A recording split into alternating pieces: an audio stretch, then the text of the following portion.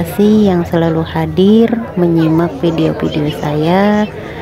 Uh, jangan lupa ya subscribe, like, dan komen agar saya lebih semangat lagi teman-teman untuk mengonten dan saksikan vlog BMI Hong Kong ya teman-teman melihat keindahan-keindahan kota Hong Kong terima kasih. Wassalamualaikum. Sampai jumpa. Bye bye